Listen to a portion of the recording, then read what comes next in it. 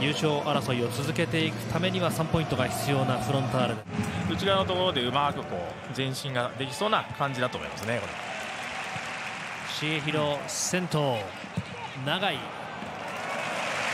思い切って打ちに。もう稲垣一生懸命スライドはしてますけどね。奪えるような状況に今名古屋はなってないと思います、うん、脇坂マルシーニョ抜けた。と触れない。は少しあの後手踏む形でこうレオシルバーまで引っ張り出された形だと思うんですけどレオシルバーと稲垣の間に。えぐって半身で重弘森下。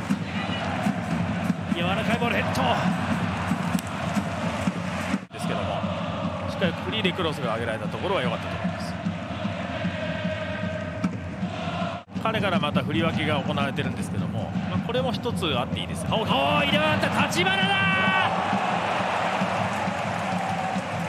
手前の選手に出したのかもしれないんですけども、まあ、そこにあの先に反応して走っていましたのでそれがその稲垣狙っていた内側でマルシーニョ。2人かわす。ダブルタッチ。入れ替わった。マルシーニョ。決まってれば最高でしたけどね。はい。でも個人の努力で見事に作り上げたビッグチャンスだと思います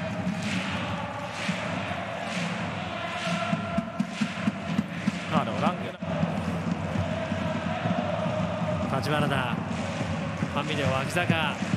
ジェジエウ1年生こぼれたマルシーニョ。こぼれた。流し込んでフロンターレ先制。立花ですか。セカンドボール反応。まだクロスの後のこぼれのところですよね、えー、名古屋はこれ最初のコンタクトがファールじゃないかと言ってるんですね、この1つ目のところですね。ハンドっていうことなんですかね。はい。まあ、上げた左腕に当たってるかどうかってことですか、えー、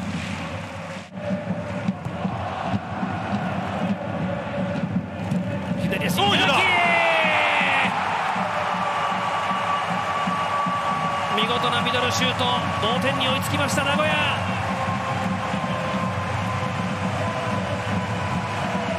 まあ、常になんか予測はしてると思うんですけどね。あとはあの強くは振ってないと思います、はい、もう向かってくるボールですからボールに合わせるってことで丁寧にあの振ってると思うんですけども。あの川崎側からするとそうですねクリアが少し中に。レオナルドが前。もう一度相馬。逆サイドを見て森下抜けるアクションで自陣も最終的なところも相手引っ張ってますから、えー、まあ、そのままカットにして蹴る空間も渡す。相馬当たりましたかね。コーナー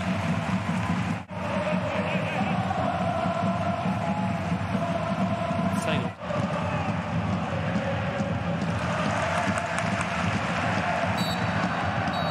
ここで試合終了